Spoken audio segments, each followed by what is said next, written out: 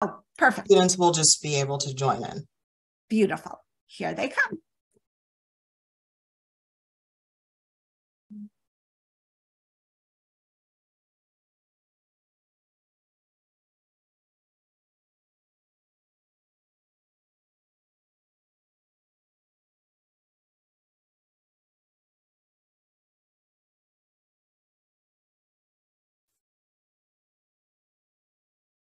I completely appreciate the students who have their cameras on. Thank you.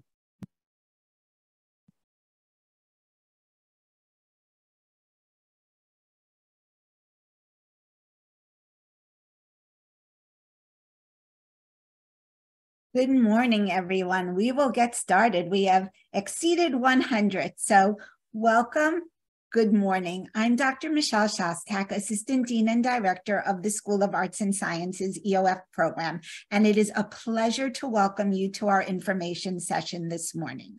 The goal of this session is to let you know about our program and to answer any questions that you have about being an EOF scholar within the School of Arts and Sciences and the schools we serve, and to tell you about our Summer Institute.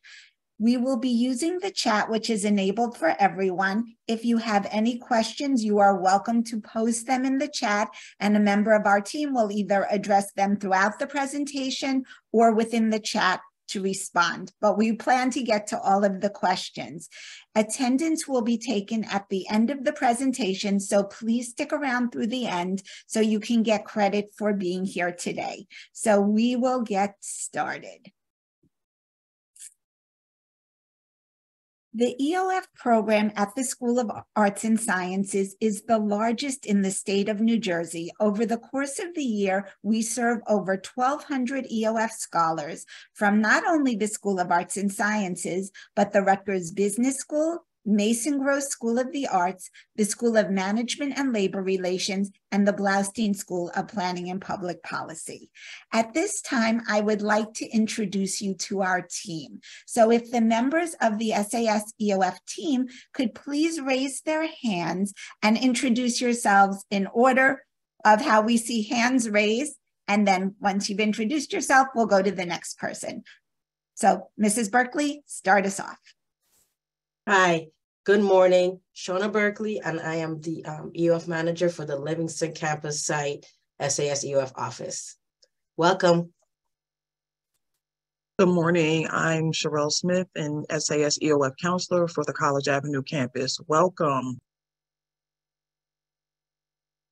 Good morning, my name is Mr. King, SAS EOF uh, senior counselor on College Avenue.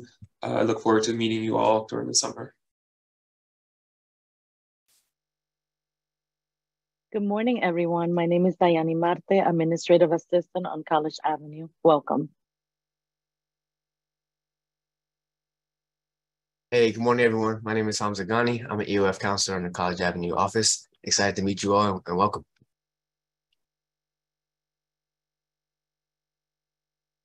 Hi, good morning. I'm Miss Alicia Torres. I am a senior counselor over at the Livingston campus.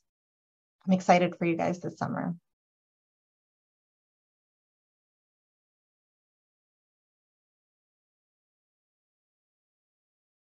Matt, you're muted. You are muted.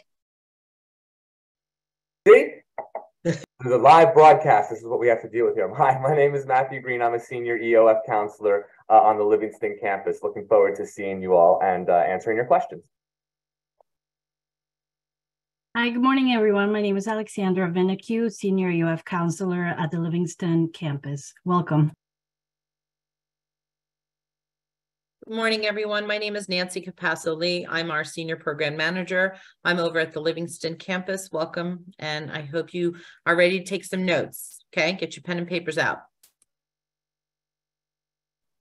Hi, everyone. Good morning. I'm Ms. Portia Muehlbauer. I am the program coordinator over at the Livingston site, as well as the assistant hall director over the summer. Good morning, everyone. My name is Zena Jubilee. I am the EOF manager on College Avenue, and I'll look forward to working with you all this summer, and I'll be working specifically with our Mason Gross students who are on today. Thank you. Thank you, everyone. So this is our team, and you will get an opportunity to see them throughout your time at Rutgers University. Julisse, I saw your message in the chat. There might be some phone numbers that are associated with this Zoom call. So you could certainly forward them to your dad and maybe he could access one of those from from his location. We are also recording this session. So for any parents or guardians who are not able to be here today, we'll have this posted on our website as soon as it becomes available for viewing that way. Dr. Shostak, Ms. Diamond Rodriguez has to introduce herself as well. I know she was trying to. Oh, great. Yes, absolutely. Good morning, everyone. My name is Amy Diamond Rodriguez, and I'm the Senior EOF Counselor on the Livingston campus. Welcome. Great. Next slide, please. So as I had mentioned, every EOF scholar is assigned to a counselor who becomes your first point of contact with assistance with navigating all aspects of Rutgers University. As an EOF scholar at Rutgers University, you have the opportunity to select from a large array of majors, minors in all fields from the humanities, social sciences, and STEM fields. As a condition of your admission to Rutgers University, you must successfully complete the Summer Institute. When Mrs. Lee speaks shortly, she'll share much more with you about the Summer Institute, but important to note that the Summer Institute begins on Monday, July 3rd. Yes, we will close for the 4th of July, but then we will continue through Friday, July 28th.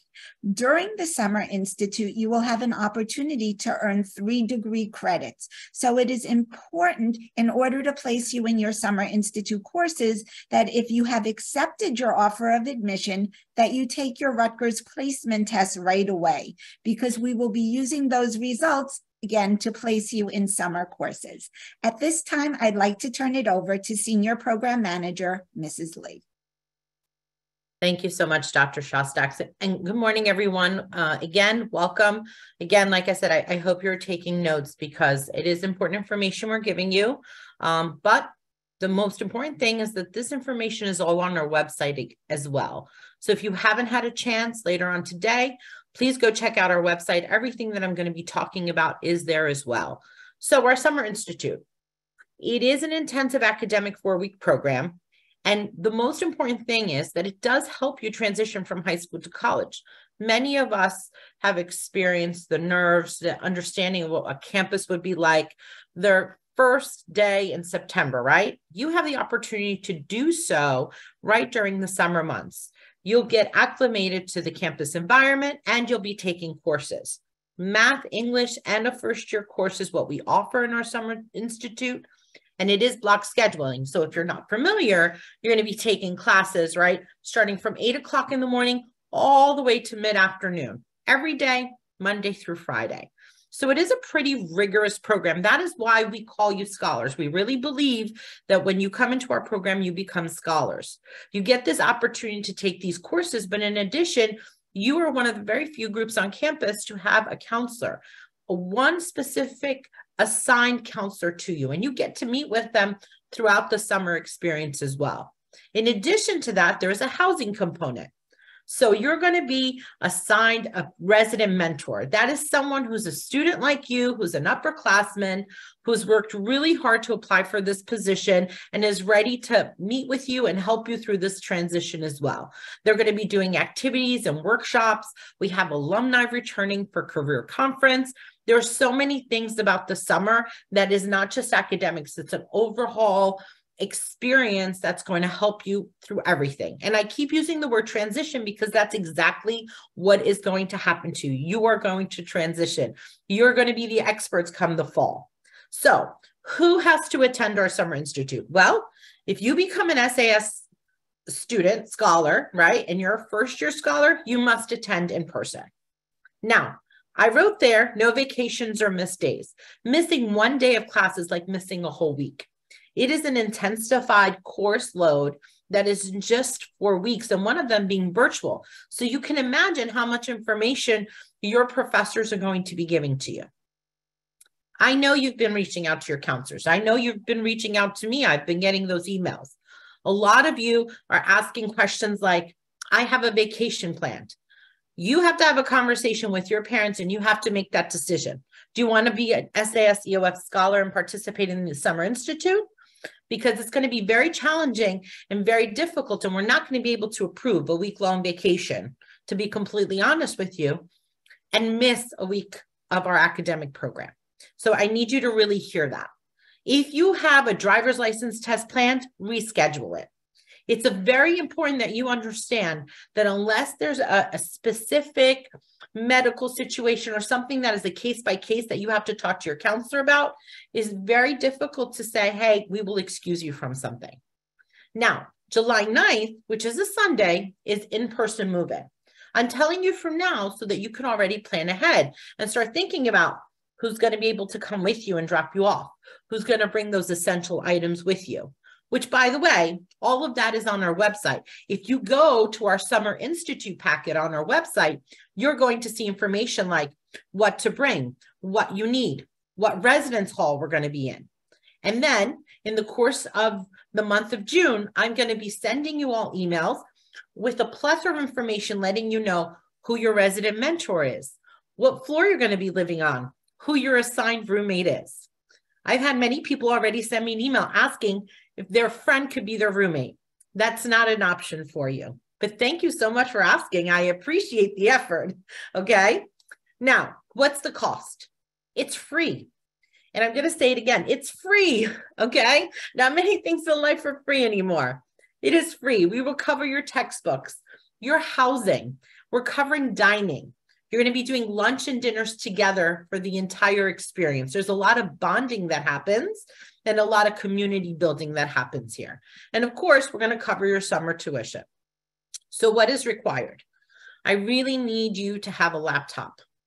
And I understand many people buy Chromebooks, but I promise you the cost today for a laptop is quite comparable. And, and if you're already thinking about graduation gifts, this is a great thing to ask from people. Okay. So I really do need you to have a laptop and I need you to have internet access because, you know, you just never know. I need you to take your placement test ASAP. I know the people are answering in the chat for you. When can you take your placement test by and all that stuff? As soon as possible. Why? Because if I'm offering you a math and an English course in the summer, I need to know what to place you in. And I can't place you unless I know. And I need to know because I need to know how many students are going to be in each space for the summer. So everything has a cause and effect. And that is why we do things very early in our program. That's why we ask for a lot of information ahead of time. Now, COVID and immunization records, they're through the portal, the pathway. That's very important for you to submit. That is a universal requirement. So please read that carefully and submit whatever necessary documents, medical documents you need to do so. Now, your counselor, we're going to keep saying it for the rest of our lives with you. They're your first point of contact. Make sure you're contacting them about all the forms that you're filling out. If you have a question about the form, if a form doesn't open, if you're unclear about what we're asking, ask us. Don't just assume. Don't Google forms because sometimes in the World Wide Web, an old form is going to pop up and you're going to say, Hey, I filled out a form and it doesn't say what you're asking me to. Or you saying that I didn't complete a form because we get them on the back end because you completed something different. I really need you to get those forms from our website directly. It's very important you do so. And most important, some of you will be considered minors for our program. So it is important for you to know that if you're considered under the age of 18 on July 9th, you are considered a minor for us. And so you will be housed accordingly in that same residence hall with other minors. So this is our Summer Institute general information. Again, I have so much more on our website. Miss Muehlbauer is actually going to be our hall director. We will have two assistant hall directors, and we will have over 10 resident mentors who will be welcoming you into the building this summer. It will be Hardenbergh Hall, but again, I'm going to leave it for you to go to the, our website and check out all that information. Happy to answer questions in the chat, as my colleagues will be doing as well but I am so excited to meet all of you. I am so excited for this experience for you. I promise it will be life changing. Of course, with that also comes financial aid information. So I'm going to pass it on to Ms. Linnell James, who is our program coordinator for financial aid, outreach, and recruitment. So Ms. James, go for it. I'm very excited to meet you all uh, to join us for this information session. Uh, many of you I may have met on the road or you've met many of our team members at your high schools or information sessions or college fairs. So it's really nice to see it come full circle and that you've been here and you're admitted. Now, as part of the process for EOF review, um, you must complete an EOF verification process. Now, all of you were uh, have committed, have admitted, who have been admitted, excuse me, have completed the first portion of this process with the Rutgers Admissions Office. They reviewed your 2020 income. It's documented that you meet the eligibility criteria for the EOF program. Now we're going to complete the second portion of this review to confirm your eligibility. Now, this process requires, of course, first that you complete the financial aid application. And if you hadn't, you probably received an email, very nice email from uh, Ms. Uh, Diane Marte um, to let you know that we need that information completed. Hopefully you've done that and processed that as quickly as possible so we can then request the documents needed. So now what is this process, right? The EOF confirmation process is a state required uh, step in order to confirm your eligibility to receive the EOF grant and academic services. So it confirms your eligibility, number one, for the grant. Number two, it actually helps you because if you there was a mistake possibly made on your financial aid application, maybe your FAFSA or your New Jersey alternative application, Rutgers Financial Aid will work together with you to, um, to collect the correct information and update it on your behalf. It'll also finalize your EOF admissions to Rutgers University, right? So I just want to emphasize to everyone that right now you are conditionally admitted. And to verify and to complete the process in your admissions for EOF review, you must complete this step. It also verifies the information again that's on your FAFSA and your New Jersey alternative application. So many students might wonder, well, what, what is Rutgers going to ask me, right? If you take a look at the chart, this is the state mandated chart. It uh, reviews you based on your household size, all sources of income, and then as well as your assets. And assets includes um, business owned, um, properties owned, as well as um, cash and savings. So if you review your FAFSA and you've seen the information that you've put into your documentation where you said maybe your parents earned $50,000, we're going to ask you to show us proof. And what that looks like, we'll go through that step. Um, we're going to document the year for 2021, and we will show you how you're going to access your financial aid portal in your My Rutgers account. We'll take it step by step. Financial aid has also created a student uh, library. We'll have access for multiple videos, step-by-step -step guides to help walk you through the process because it can be very confusing. Once you've accepted your admissions to Rutgers University through the EOF program, you'll be assigned to your EOF counselor. One of your counselors will help you uh, with this process, but it only works if you're responsive. So it's very important that you check your email and you complete the process as early as possible. The faster you complete it, the quicker financial aid will be able to review you. They review the students in the order that they receive the documentation. Now, as Dr. Shostak said, we are the largest program in the state of New Jersey, but we are one of seven programs at Rutgers University uh, alone. So there will be multiple students that will be submitting their files. And if you want your decision made as quickly as possible, it's very important that you submit the requested items. Check your email every day. Check your spam. It's very possible that some of the, doc the document requests may be going to your spam, especially if you had registered um, through Rutgers using your school ID. Make sure you check those permissions. Update it to a personal email. And then um, it's very important that you know that it is possible that you may be determined ineligible for the EOF program based on your 2021. Uh, in order for you to get an answer as quickly as possible, we, like I said, it's very important that you submit your information. If you think you may not be eligible for your program, it's important that you say something to us early enough that we may be able to fast track your application to get you reviewed without EOF uh, for Rutgers admissions. Now, what documentation are we requesting? Like I said, it's the 2021 income year, so that's two years ago. We're going to ask you for your tax return transcripts. I'm going to explain what that is a little bit later. We're going to ask you for your W-2 forms. If you did not file taxes, we may ask you for a verification of non-filing letter. There is a verification worksheet um, to confirm who is in your household. That is the Rutgers online form. We may ask you to complete a monthly expenses and resource statement if you've listed little to no assets or income on your application.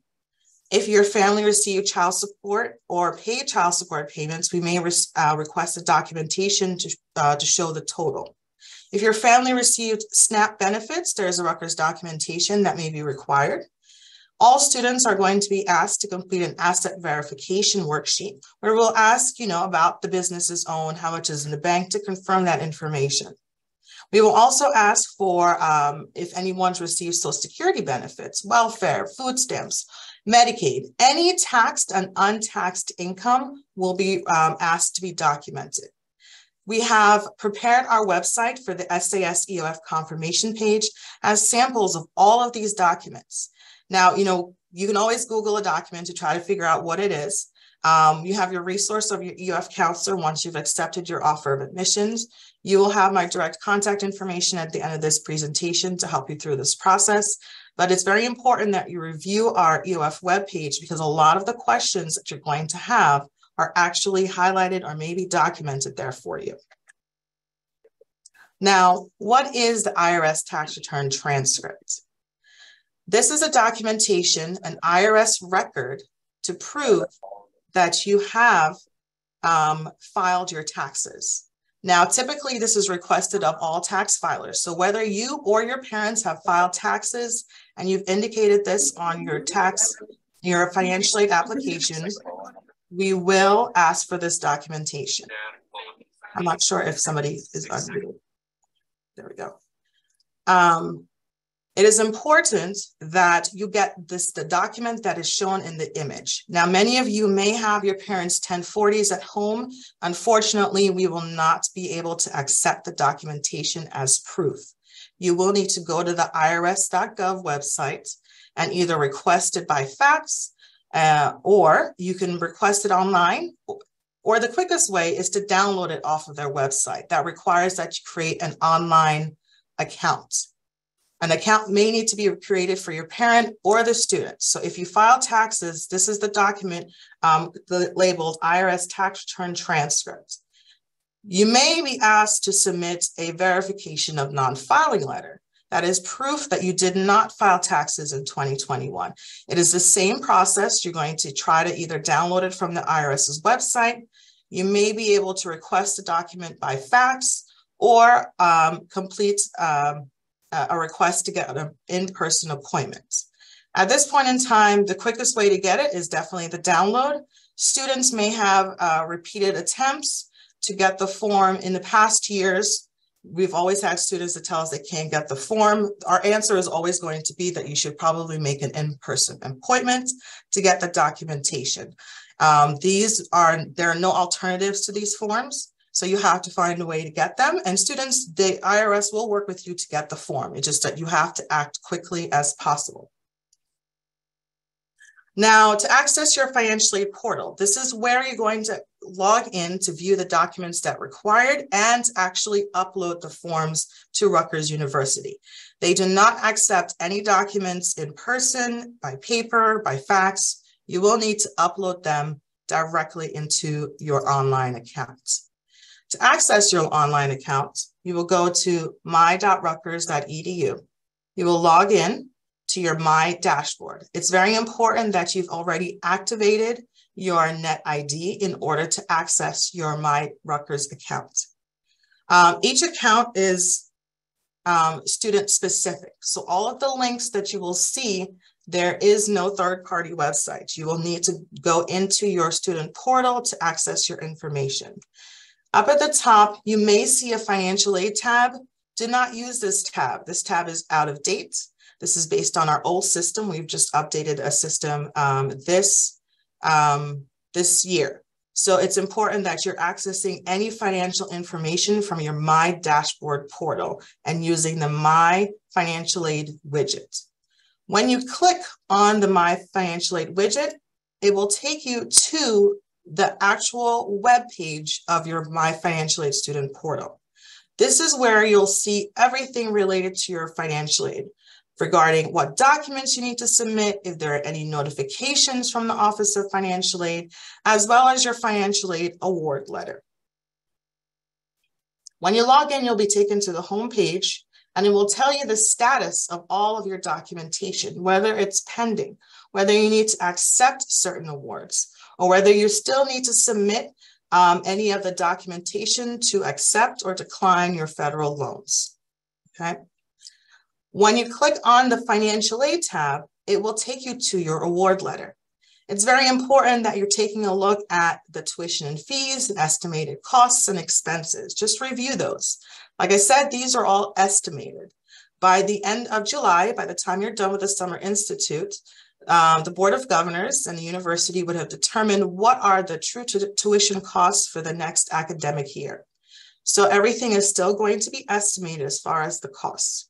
In number two, you'll see how much financial aid you will receive, okay? Um, it's very important that you review it carefully. And if you have questions, you can reach out to our program or to the One Stop about your financial aid um, awards. Now, what if you do not receive your offer letter? You do not have an award letter when you log in to view your account. The first step is to make sure that you've correct you've correctly completed a financial aid application. So typically our students are completing the FAFSA. Make sure you log in and make sure you've completed the one for the 23-24 academic year. Make sure it's submitted. And if your parents needed to sign it, there are signatures and it is com completed. If you're a New Jersey um, dreamer and you completed the alternative application, you need to make sure that you've completed the process and you contact the state directly if there's any questions. Um, once you've done that step, you need to make sure you log into your student portal because sometimes you may be selected for a verification process outside of the EOF review.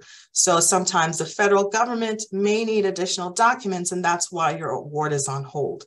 It may take up to 10 business days for the Office of Financial Aid to process your award letter after your financial aid application is completed. And if you still have not received an, an award, you want to contact the One Stop directly. The One Stop is a culmination of the financial aid office, the student accounting office, as well as the registrar's office. So they will be able to help you troubleshoot um, getting your award letter. Now, all your documents will be viewed in uh, the documentation tab. Once you click on the tab at the top, it will list all of the forms that you need to submit in white. It will list a verification worksheet, excuse me, an asset verification worksheet.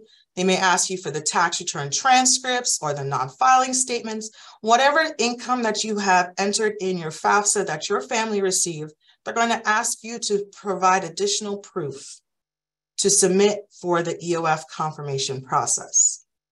An important step to remember is um, all parents, if you're a dependent student, parent signatures will be required for this process. Now, as I mentioned, financial aid does not accept any documentation via paper. So in order to sign the documentation, you will need to make sure that all your parents have a, an account, oops, an account uh, of their own related to their MyRutgers. So you're gonna create a community ID um, for your parents. Then you're going to need to create, um, give them access to your account in your MyRutgers portal. Now there are videos and steps in the financial aid student library that'll take you step by step in order to complete the process. But again, you must first give them permission in your MyRutgers portal. You're gonna give them authorized access and then you will need to make sure that you've given them access as an authorized user to have custodial, not just read only, but custodial access. That will then allow your parents to sign any of your documentation that requires a parent signature virtually.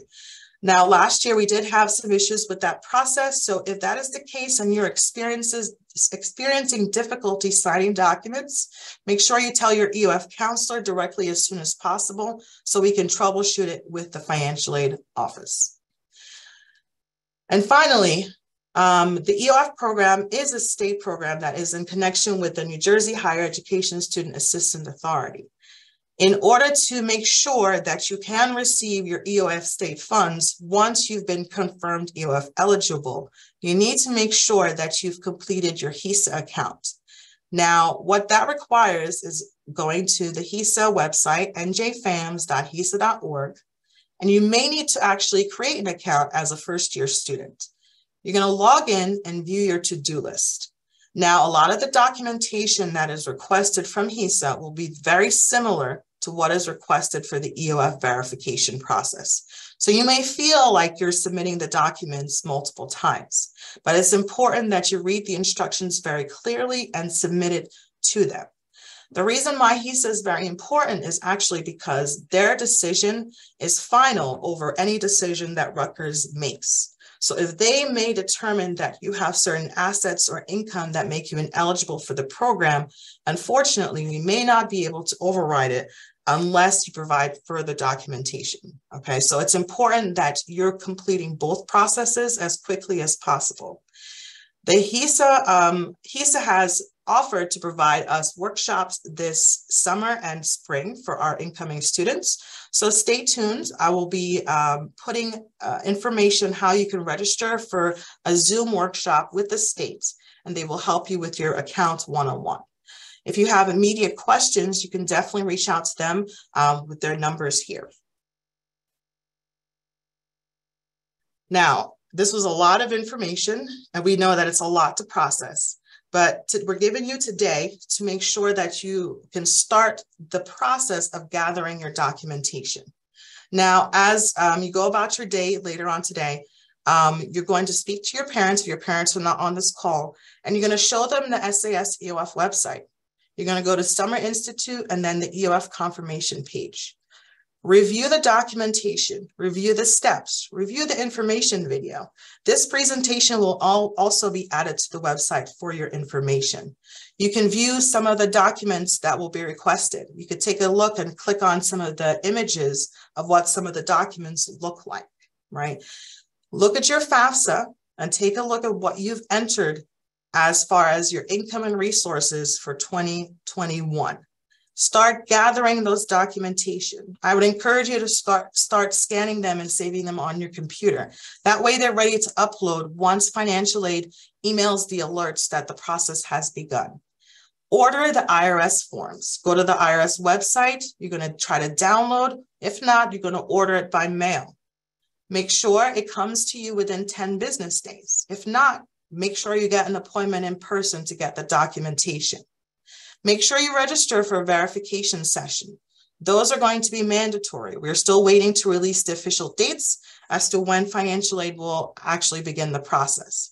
Then you will receive emails and reminders as to when to register for a session. It's very important that you're responsive for this process. Again, it means your Rutgers admissions to the EOF program. So uh, uh, the biggest indicator for us as a student uh, is your responsiveness to the process. And we can only help you if you let us know if you meet any difficulties.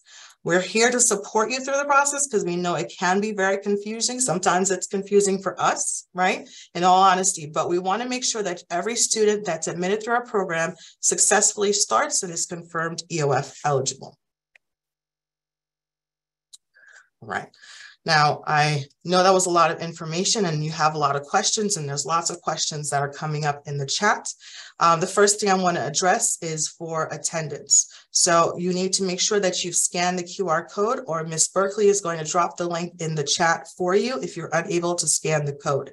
It's important that you complete the attendance because this is how you're going to get your absence, excused absence letter um, within the next hour or so about the process. Okay. And if you need to reach us with any questions, you can contact us directly through our, our email, or you can reach out to your assigned EOF counselor.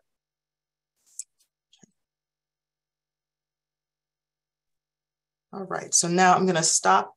No, I'm going to keep it up to make sure everybody is scanned.